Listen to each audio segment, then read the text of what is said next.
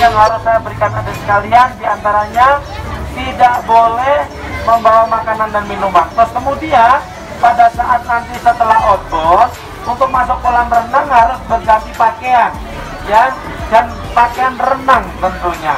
Ya kalau tidak renang apa-apa tetapi pakaian yang tidak ada bentuknya. Ya, dan kalau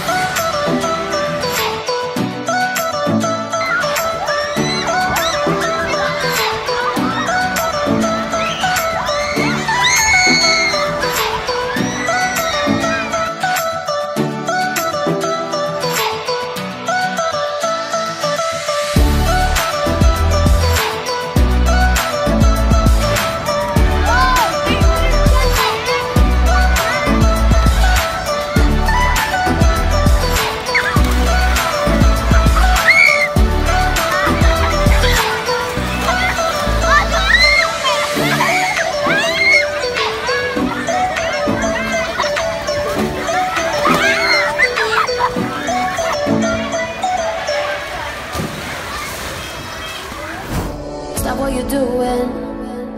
Get in the moment. Oh yeah, oh yeah. Show me some movement. Yeah, you can do it.